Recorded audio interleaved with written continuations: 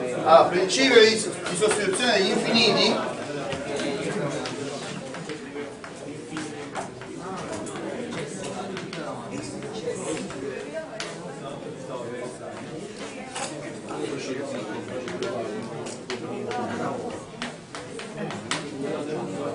Allora, sta- stavolta sapete che il limite per x che tende a x con 0 di f di x uguale il limite per x che tende x con 0 di f grande di x uguale il limite. Per x che tende x con 0 eh, di x uguale il limite. Per x che tende a x con 0 di grande di x uguale io per semplicità faccio tutti più infiniti in maniera tale che non ci tanto se ci sono questioni di segno si opera con la regola dei segni più per meno meno più diviso meno meno poi sapete anche che il limite per x che tende a x con 0 di f grande come prima su f piccolo uguale il limite per x che tende a x con 0 di g grande su g piccolo è uguale a 0 in questo caso non si parla di infinitesimi di ordine superiore ma si parla di infiniti di ordine inferiore. Cioè vanno entrambi a infinito ma stavolta non è il numeratore che va a 0 più velocemente del denominatore è il numeratore che va più infinito più lentamente del denominatore per- affinché il rapporto tenda a 0 qual è? Qui non ho problemi di dire nulla perché siccome le funzioni tendono a più infinito è chiaro che il unitore di con 0 opportuno sono per esempio maggiori di 1 e quindi non ho bisogno di supporre che eh, le funzioni siano diverse da 0. Allora, tesi, la tesi è la stessa di prima, cioè il limite per x che tende x con 0 di f di x su g di x è uguale al limite per x che tende x con 0 di f piccolo di x più f grande di x tratto g piccolo di x Ah, è esattamente nello stesso senso di prima cioè questo limite esiste se solo se esiste questo sono uguali se non esiste uno dei due limiti non esiste neanche l'altro. Quindi non me lo fate scrivere esiste cioè, se è una riga veramente sprecata. Basta che capiate che questo non significa che questi due limiti esistono tutti e due possono anche non esistere. Chiaro? Ok. Quindi quando in informatica usate O piccolo di n che cosa significa? che è una cosa che tende a zero quando la dividete per n. Stavolta è un infinito o anche una costante per esempio una cosa che tende a una costante ma una cosa in, in ogni caso la notazione O piccolo di n significa sempre che quando lo dividi per quello che ci sta dentro deve zero ecco O grande di n in genere si intende che tende a una costante diversa da 0 però qua ecco a seconda dei libri eh, perché chi dice compreso tra due costanti chi dice chi ci sta in, eh, in informatica si usa O grande, teta grande eccetera però la notazione su O piccolo è eh, univoca va bene eh, per esempio, facciamo un esempio. Eh, in informatica avete questo problema.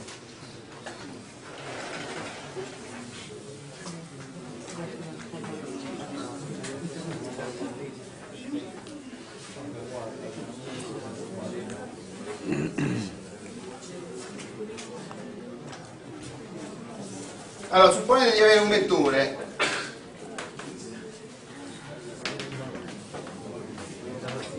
Per esempio un vettore di stringa e un vettore di intero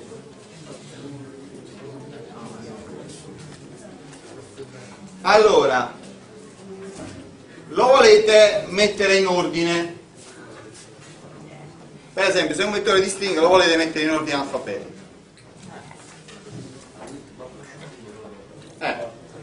allora che eh, per esempio eh, a scopo didattico sicuramente avete visto qualche algoritmo per mettere in ordine tipicamente vedete il bubble sort merge o allora, il bubble sort come funziona? allora diciamo parto dal primo confronto se diciamo il confronto mi dice che eh, viene prima in ordine alfabetico quello che stava dopo, li scambio. E continuo ad andare avanti fino alla uh, poi passo, e quindi sono sicuro che ho portato sopra l'elemento più piccolo perché li ho confrontati tutti. Diciamo ogni volta che io vado avanti eh, confronto e, e se è minore lo porto sopra mettiamo che siano interi va minore lo porto Uh, però, quanti confronti devo fare in questo?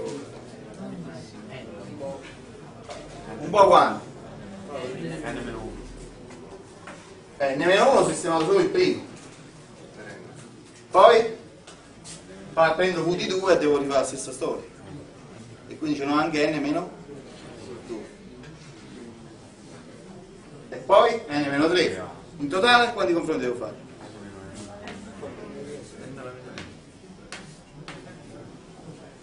n, la somma dei numeri interi da 1 fino a n-1 questo è il numero di confronti da fare perché parti da n-1 poi c'è la n-2 poi n-3 poi n-4 poi a certo punto arrivi a 1 quando hai confrontato gli ultimi due e poi è finito ah, quanti confronti sono? sono n4 meno n mezzi ora questo è O grande di n4 cioè qua quello che conta, no? la n non conta niente, perché quando sei n è grande, se questi sono un milione, questi sono eh, mille miliardi, questi sono un milione, non è che incide. Eh, vabbè, poi c'è il mezzi, il mezzi però è una costante fissa che rimane sempre fissa. Quindi O grande di n quadro. Uh, invece col merge sort come funziona? Con merge sort, col merge è un po' più difficile, bisogna fare una struttura d'albero eh? Allora, diciamo, eh, allora,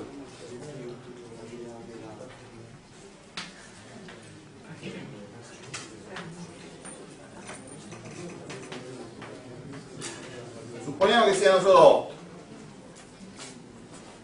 Allora, per prima cosa io metto in ordine tra questi, li metto a coppie eh, e li metto in ordine a coppie quindi dispongo faccio un confronto e qua li metto in ordine. Ottengo che ne so qua 7 8 qua li confronto e cioè viene 6 5 con 6 5 intendo dire che questo viene in ordine alfabetico oppure in ordine l'altro ordine che stiamo considerando prima di questo. Eh, qua mettiamo pure 4 3 e qua. 1 2 poi che faccio? siccome questi già, già, stanno in ordine prendo queste due pile e eh, prendo dall'alto della pila quindi partendo dal più basso eh, guardo quelli che stanno in cima alla pila e li confronto. Uh, per esempio tra 1 e 4 diciamo che è più basso 1 poi rimane 2 e 4 diciamo che è più basso 4 poi rimane 2 e 3 diciamo che è più basso 3 e poi ci viene ottengo ho fatto un merge no? confrontando quelli in cima ogni volta in cima alla pila e diciamo che da quest'altra parte viene qualcosa del tipo 6 7 5 8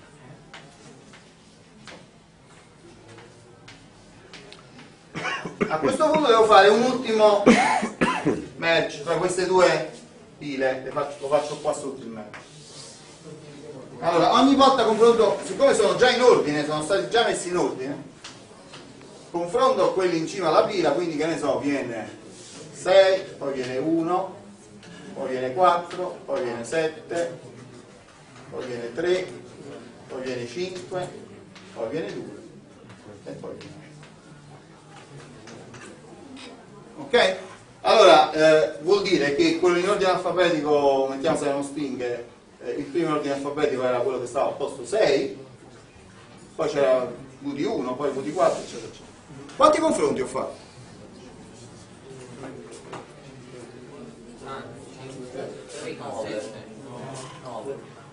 Allora, se guardate, prima, allora, per ordinare, per passare il primo livello ne ho fatti 4.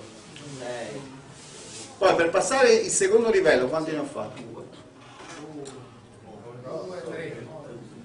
Allora, però l'ho fatti due volte. Ho dovuto confrontare tre volte per, e l'ultima è, è di differenza. Quindi qua ne ho fatti due, uno e uno, uno e uno. Qua ne ho fatti tre e tre. E qua quanti ne ho fatti?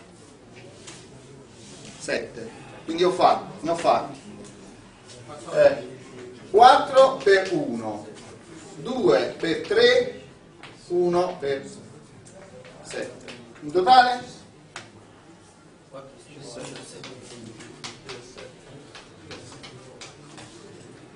quanto fa? 17 allora supponiamo allora quale algoritmo è migliore quello di prima o questo qua?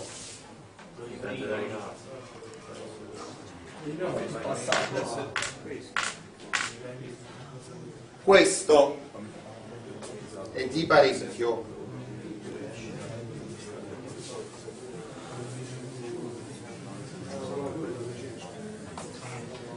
Allora, eh, è di parecchio quando n grande. Allora, supponiamo che invece di 8 ce ne avevo 64 allora beh, innanzitutto qui abbiamo fatto 17 confronti qua quando ne abbiamo fatti? 8 per 7 fratto 2 sono 28 perché n era 8 ah allora vabbè. È chiaro che per n bassi può convenire il bubble sort per n molto bassi. Può convenire perché è una struttura più semplice. Però già vedete che eh, io mi sono messo chiaramente in un caso ottimale per questo perché questo è ottimale quando il numero di elementi da confrontare è del tipo dual line. Quindi quando è una potenza di 2 qua i confronti sono 28 qua i confronti sono 17 beh però insomma 28 e 17 non sono proprio due numeri vicini vicini eh. allora supponiamo che n sia 64 Quindi 64 non è una pila enorme, è un vettore non eccezionalmente grande. È chiaro? Eh, nel caso, eh, vediamo quanti confronti devo fare per il bubble stroke. Allora, numero confronto. Allora, qua mettiamo bubble sort, match sort. Allora, il caso del bubble sort, quali sono? 64 per 63 diviso 2, quanto fa? No? 6. 2016. No, 2016. Sì, 16. Perché che dovete fare? Dovete fare 32 per 63. Allora fate 32 per 64 fa 2048, meno 32 stava svegliando un po'. Allora, andiamo a fare questo. Quanti sono? Qua uno potrebbe dire un po' più difficile, ma questo è un tabellone, no? Un tabellone di calcio 64 che abbiamo all'inizio di confronti cosa sono? 32 32 esimi quindi abbiamo i 32 esimi di finale per 1 che fa 32 poi ai sedicesimi di finale abbiamo da fare match di bide da 2, quindi i confronti sono 3. Questa, questa, questa, no, questa successione qua che cos'è? 1, 3, 7. No? 1, 3, 6. È 2 alla n meno 1. E questo se, se ci metti aggiungi 1 è 2, 4, 8. Chi- Chiaro? Quindi 16 per 3 fa 48, poi 8 per 7 fa 56, poi 4 per 15. Il doppio di 8 è 16, meno 1, 15. 60, 2 per 31, eh, 62, 1 per 63, 63. Facciamo la somma?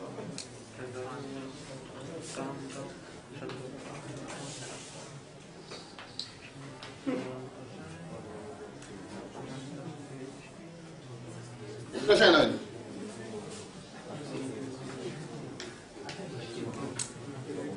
Ah. Quale conviene? Il match. No, un po' meglio. No. No, un po' meglio, sei volte meno tempo. Là il grosso del costo, là il confronto, eh. È vero che, ah dice, ma io col computer non lo vedo, è velocissimo. 2000 operazioni, se ci mette un milionesimo di secondo. Eh, mo piglia il caso che eh, diciamo adesso oggi faccio compito. Non per voi, per quelli là. Comunque, oggi faccio compito e mettiamo che io dovevo mettere io il 64 compiti. Col bubble sort in fronte non se ne parla proprio. Tu quando metti allora perché li devi mettere in ordine? in genere lo si mette in ordine ecco volendo proprio eh, valutare la praga si potrebbe mettere in ordine di matricola ma insomma io mi trovo molto più fa- diciamo mi viene molto più facile mettere in ordine di cognome quindi la gente si scrive il cognome normalmente allora prendo per esempio io dico sempre ai ragazzi scrivi il cognome sulla facciata principale non di dietro perché? se no devo girare per fare il confronto e perdo tempo ok? allora come si fa sto confronto?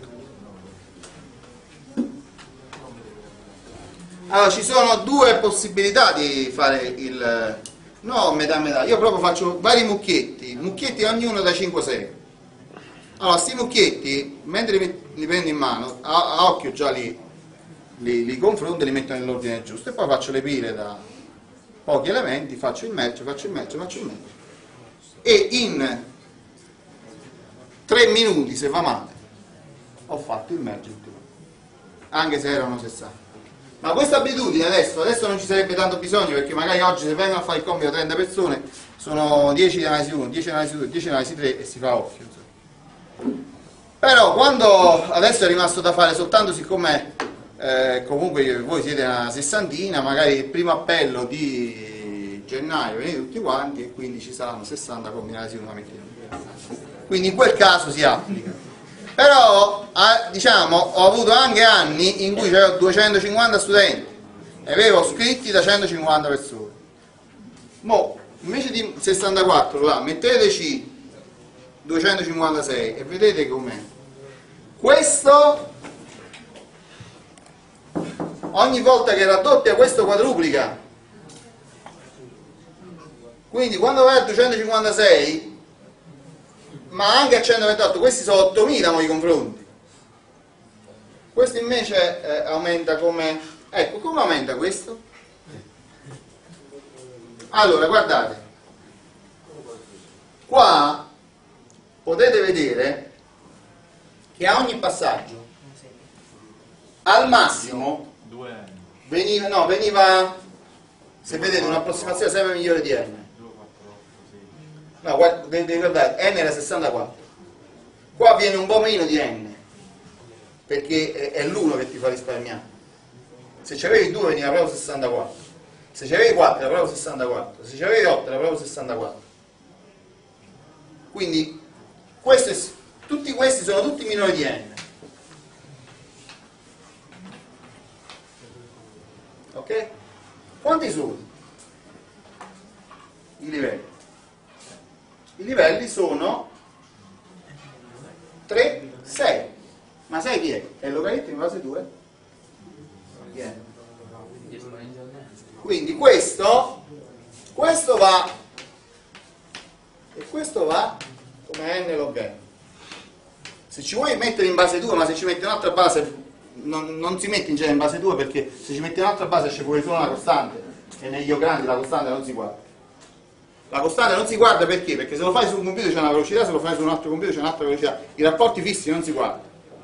No? Tu devi vedere come si sviluppa rispetto a n. Uh. Ok? E eh, la differenza è tanta. La differenza è tanta. Questo è... La differenza è tanta quando? Quando n è grande. Ok? Uh, per eh, diciamo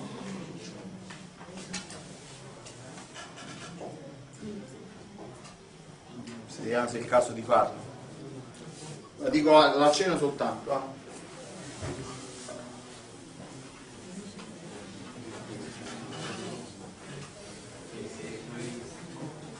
allora vediamo un po'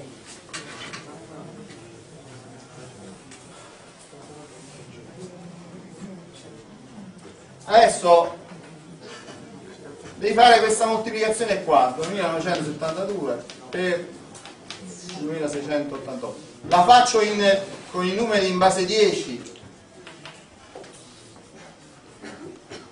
la faccio con i numeri in base 10 uh, io voglio sapere quando vado a svolgere questa moltiplicazione diciamo chi è n e, e qual è eh, diciamo, l'andamento dell'algoritmo. Eh. Cioè, è chiaro che io posso fare la moltiplicazione di due numeri corti, due numeri lunghi. Allora, cosa si intende con n in questo, per le moltiplicazioni? Quante? In questo caso voi chi direste che è n? No. 4 è il numero delle cifre cioè voi dovete fare una moltiplicazione di due numeri di n cifre decimali cada uno se lo fate su un computer di due computer di n bit o di n byte tanto o su n bit o su n byte il rapporto è fisso è 8 poi vedremo che chiaramente c'è una differenza no? Eh, poi se il sistema a 32 bit o a 64 bit potete fare anche moltiplicazioni da n parole però n indica la lunghezza del moltiplicante, del fattore, diciamo, dei, dei due fattori come numero di parole. Supponiamo che per semplicità che i due fattori abbiano eh, la stessa eh, lunghezza. Adesso, se la svolgete con l'algoritmo classico, quello delle elementari, eh, che, quante operazioni fate? Più o meno, sì. O grande?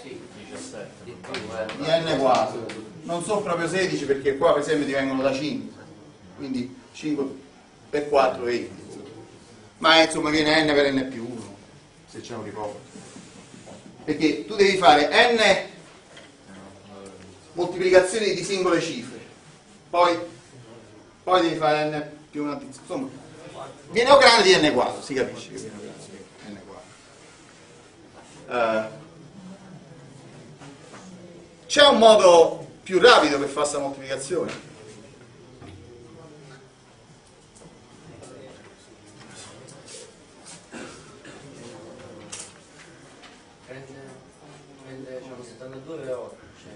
No, vabbè, a parte piccoli trucchi, per esempio qua, per esempio, è chiaro che la quarta, quando vado a fare la moltiplicazione, la quarta riga non la riscrivo perché uguale alla terza la, la ricordo, non la rifaccio. Insomma. Però a meno di questo, questo algoritmo eh, è del, dell'ordine, diciamo, con n va come n quadro. Se adesso vi faccio una moltiplicazione di due numeri da mille cifre decimali cada uno, voi fate un milione di operazioni.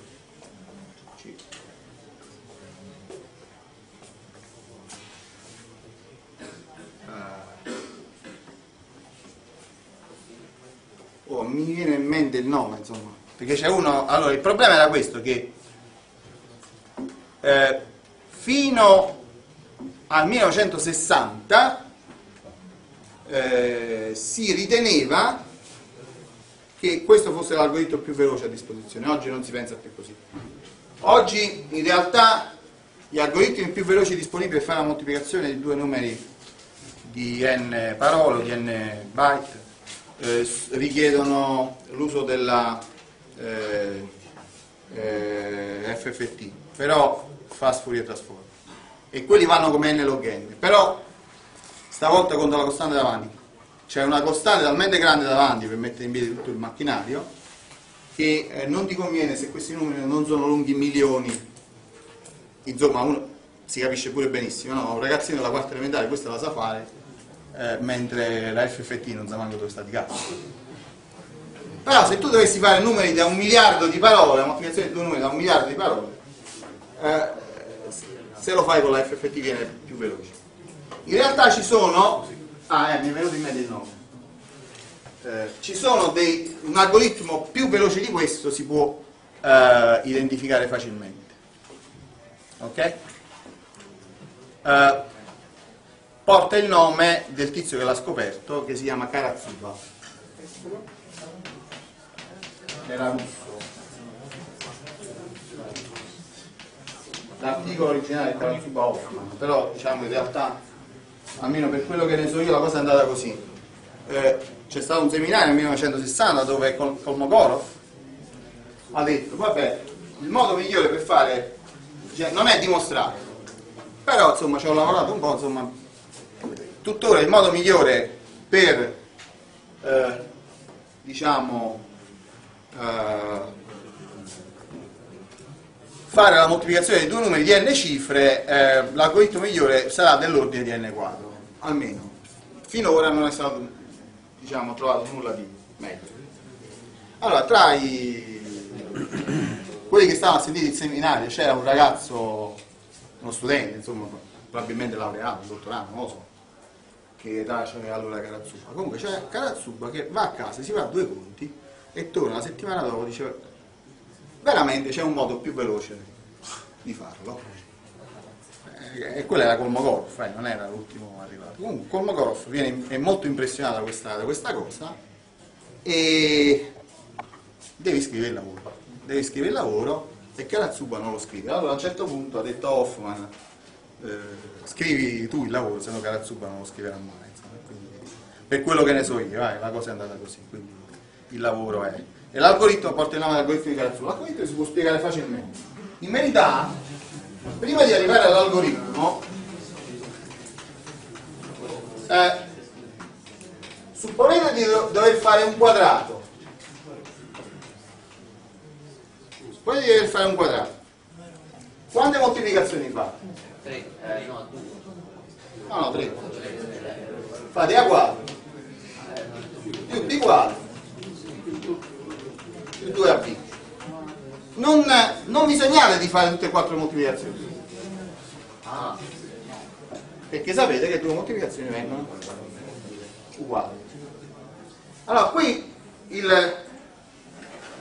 Eh, qua tu in realtà non è altro che 29 eh, per cento diciamo eh, tu non stai facendo altro che ax più b per cx più b. Allora, a è uguale a 29, b è uguale a 72, c è uguale a 56, d è uguale a 88 e x è uguale a 100. Siete d'accordo? Allora, il concetto è, dice io per fare questo prodotto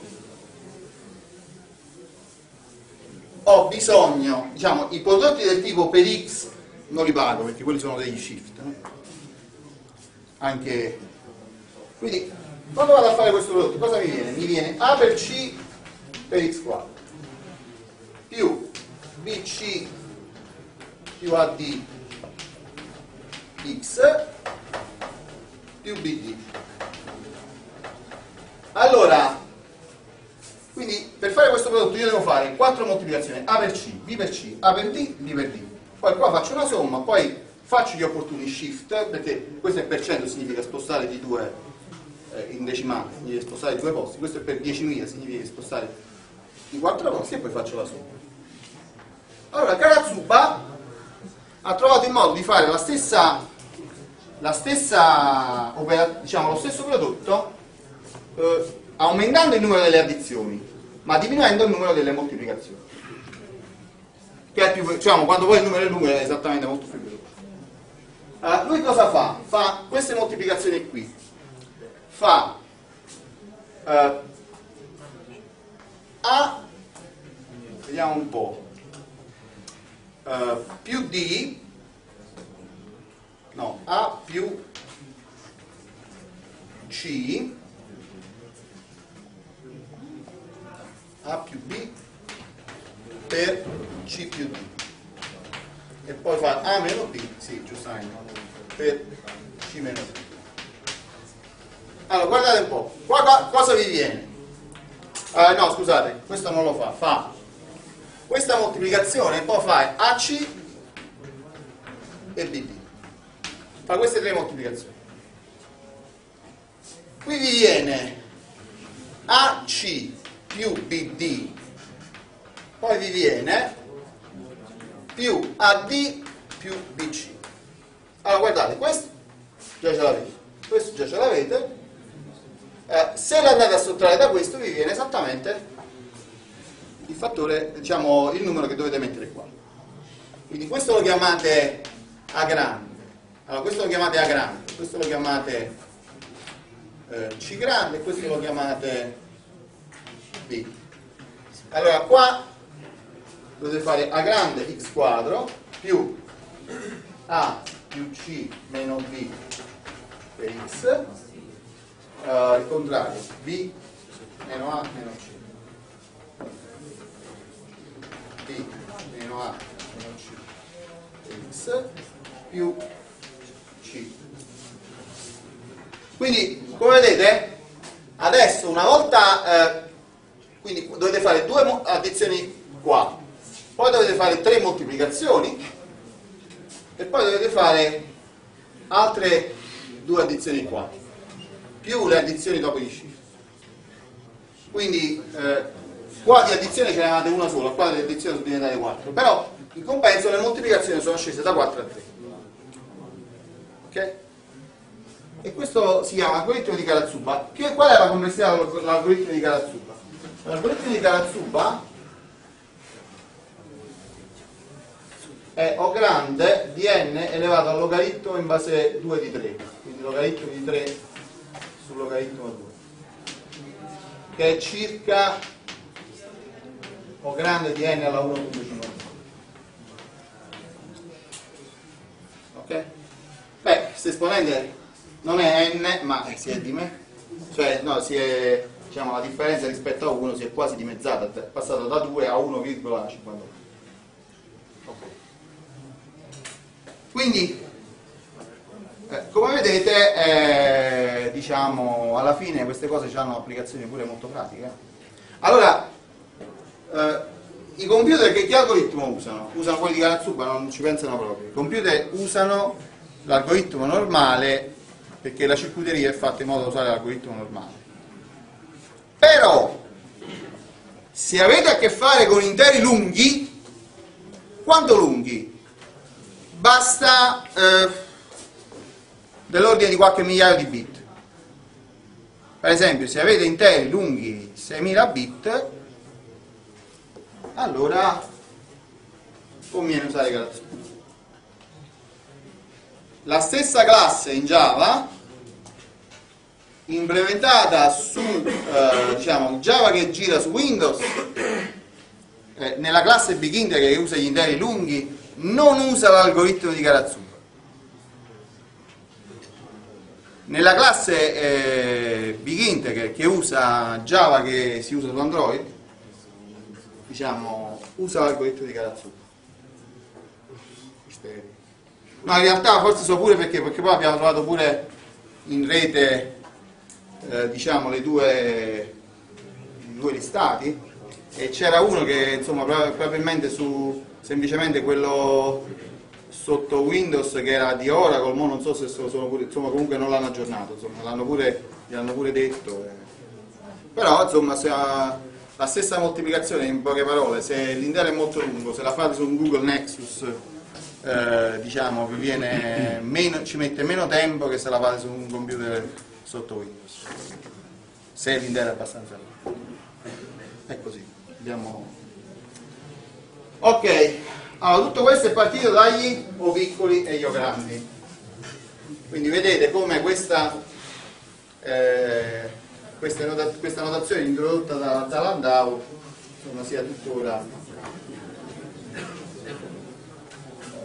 molto importante ed è stata più importante, ripeto, più per l'informatica che per la matematica stessa. Ok.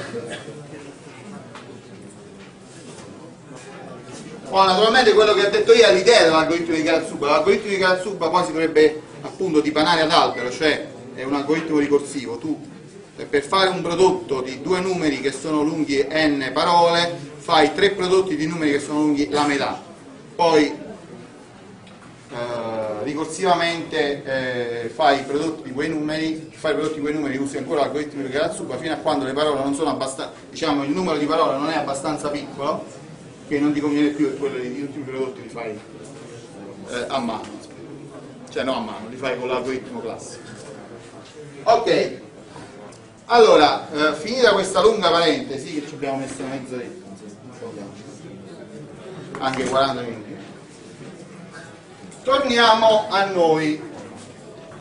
Allora dopo i limiti di funzione bisogna fare le funzioni continue. Uh, Eh, che cos'è una funzione continua? Non è difficile la definizione. Allora, supponiamo di avere f da e a valori in R e contenuti in R. Uh, f si dice continua in x con 0 appartenenti a D se solo se per definizione per ogni epsilon maggiore di 0 esiste un delta maggiore di 0 tale che se x meno x con 0 minore di delta allora f di x meno f di x con 0 è minore allora definizione assomiglia paurosamente a quella di Ring, ma non è la stessa cosa. In realtà è molto parente a quella lì, ma non è esattamente la stessa cosa. Allora, sottolineo due cose. La continuità si valuta nei punti del dominio. Se 3 non, non sta nel dominio, è inutile dire se la funzione è continua in 3 la continuità si valuta solo nei punti del dominio, è richiesta, è richiesto di valutare, si può andare a definire solo nei punti del dominio. Se, allora, dice, ma è un punto di, allora, io per esempio, 3 non è un punto, di non è un punto del dominio di E, non è, non è un punto di E, ma un punto di accumulazione per E. Posso fare il limite per x che tende a 3? Sì. Posso vedere se f è continuo in 3? No. È chiaro questo discorso? La continuità si fa nei punti del dominio. Se 3, se x con 0 nel dominio non ci sta, è inutile dire si può fare limite, ma non vedere se continua. Quindi, prima osservazione. La continuità di f si può controllare, diciamo così, tra virgolette, controllare, cioè si può verificare, chiamatelo meglio, verificare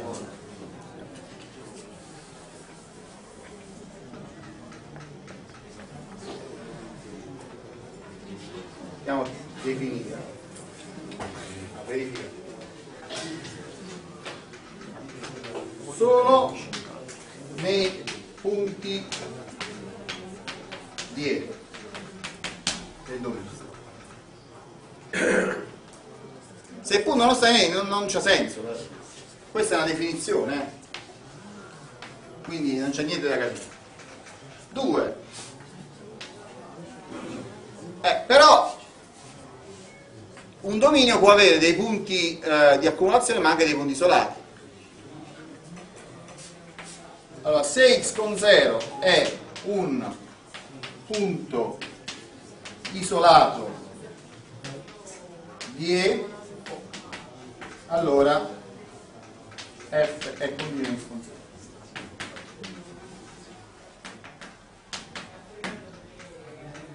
Quindi nei punti isolati tutte le funzioni sono continue. Per quale motivo? È banale.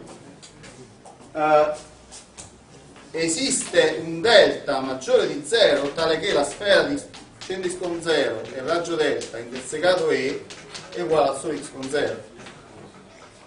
Quindi se io dico x meno x con 0 minore di delta vuol dire che x è uguale a x con 0 e allora f di x meno f di x con 0 è uguale a f di x con 0 meno f di x con 0 vale 0 ed è sicuramente minore di qualunque epsilon. Cioè in un punto isolato se ci prende un intorno opportuno ci rimane solo lui. Allora in quell'intorno prende un x in quell'intorno che significa? Che è uguale a x con 0 ma allora se è uguale a x con 0 poi mi viene f di x con 0 meno f di x con 0 fa 0. È banale. Diciamo, lo, lo, diciamo, dimostrate, però lo capite, lo riscrivete, lo ricapite, insomma, fino a che non avete capito. Eh. Se in, nei punti isolati tutte le funzioni sono continue. Se sconsiglio un punto isolato, è, ho sfruttato qualche, qualche, ipotesi su F? No. Qual non è delta. 0 minore di delta.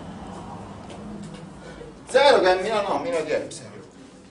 Cioè, epsilon non l'ho neanche fissato perché 0 è minore di qualunque numero positivo eh, la, la, la, scrittura completa sarebbe sia epsilon maggiore di 0 siccome io so che esiste un delta dove qua ci rimane solo x con 0 e, e qua poi mi viene 0 e 0 va bene sempre 3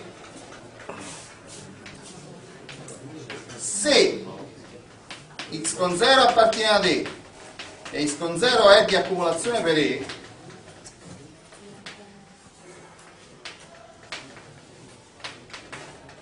allora f è continua in x con 0 se solo se il limite per x con 0 di f di x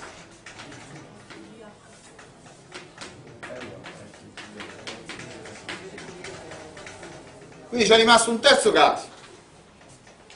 Uh, quindi allora, se x con 0 per esempio era un punto di accumulazione per E ma non era E, ci dovevamo fare il limite ma non potevamo vedere se la funzione era continua, quindi quei punti non ci interessano, ci dobbiamo restringere i E. Poi se i punti di E sono isolati la funzione è automaticamente continua, senza U. Se invece abbiamo un punto di E che è anche di accumulazione per E, allora io posso confrontare sia questa definizione sia quella di limite. Le vado a confrontare e vedo che sono uguali a patto che a posto di L ci metto f di x. Uh, cosa c'era nella definizione di limite di diverso? C'era x appartenente x appartenente a te, questo è eh, sta anche qua, eh? se volete scrivetelo perché la funzione è definita in E. Uh, c'era x diverso da x con 0 ma se ci metto x uguale a x con 0 cambia qualcosa? qua mi viene 0, 0 è minore quindi o ce lo metto o ce lo tolgo è la stessa cosa quindi confrontando le due definizioni si vede che la definizione di continuità nel punto con 0 equivale al fatto che il limite della funzione sia uguale al valore della funzione quindi per stare attenti non posso dire in generale che eh, il limite della diciamo, la continuità è equivale al fatto che il limite della funzione è uguale al valore della funzione del punto. Perché nel punto posso non avere il valore della funzione caso in cui x con 0 non appartiene a D mentre magari il limite ce lo posso fare perché è un punto di accumulazione. Oppure posso avere il viceversa, nel punto posso avere il valore della funzione f di con 0, ma non c'è eh, il limite perché il punto era isolato. E in quel caso, se vado ad applicare la definizione, tutte le funzioni sono continue in punto isolato. Ah, se invece ho sia il valore della funzione del punto, sia il valore del limite, perché il punto è di, non solo è in E ma è anche di accumulazione per E, allora la funzione risulta continua se e solo se vale limite di accumulazione, eh, limite della, della funzione uguale a f di. È chiaro? Ok. Vediamo se ora. Vabbè, possiamo ah, dire, abbiamo ancora 4 minuti eh, prima della pausa. Posso dire, a questo punto, se io voglio fare, uh, per esempio, facciamo questo teorema qui, lo scrivo.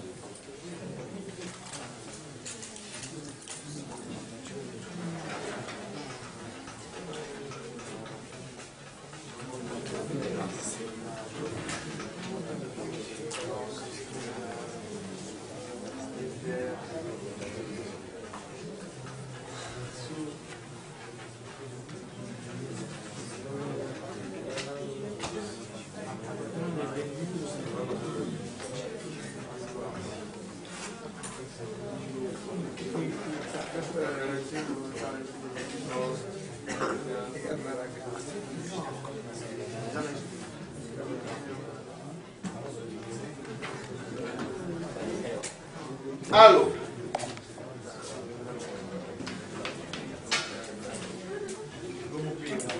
abbiamo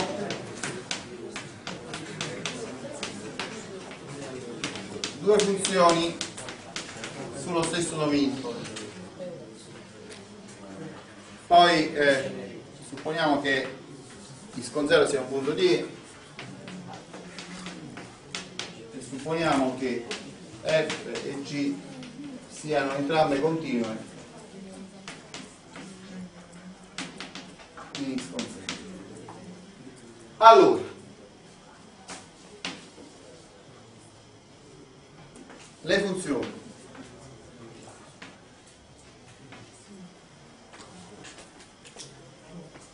Eh, poi mettiamoci pure una costante sia lambda una costante appartenente allora le funzioni. Lambda f. F più g f meno g. F per g. Uh, sono tutte continue in espansione sono continue. Se inoltre g con 0 è diverso da 0 allora anche la funzione f su g è continua.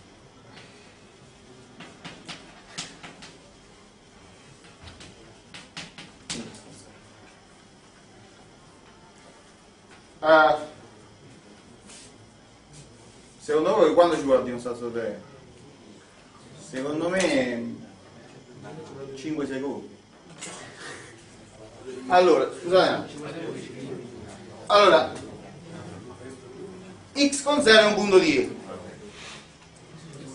Abbiamo due possibilità. O è isolato, se è isolato, tutte le funzioni sono, sono continue. Sta a posto. Questa però, attenzione, perché ci ho dovuto mettere se g di x con 0 è diverso da 0? No. No, se no la funzione non esiste in x con 0, come faccio a dividere per 0?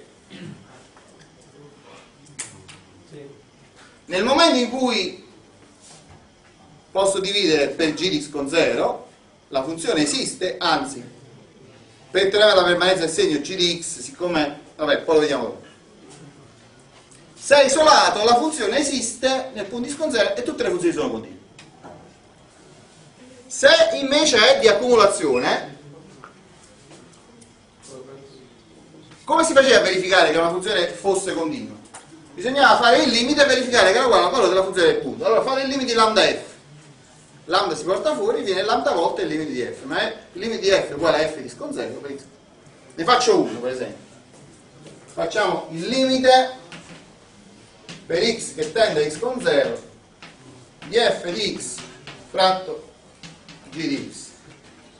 Allora io dico che questo è uguale al limite del rapporto e viene f di x con 0 su g di x con 0. Per la precisione il ragionamento completo dovrebbe dire questo è uguale.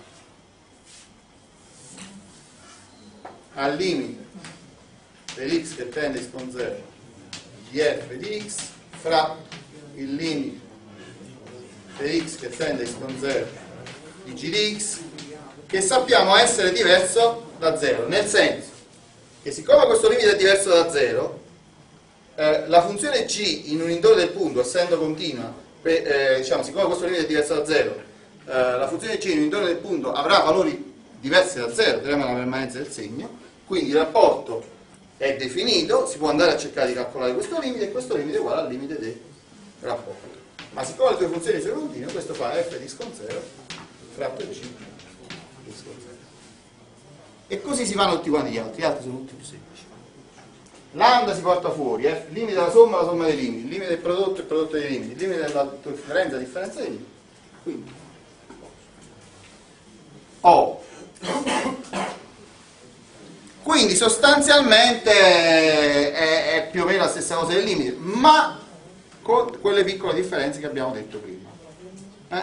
Ripeto, le differenze sono nei punti che non sono di E perché semplicemente là la funzione non è definita e nei punti che sono di E ma sono isolati perché là la funzione è definita ma non ci posso fare il limite e tutte le funzioni sono invece continue. Chiaro? Pausa.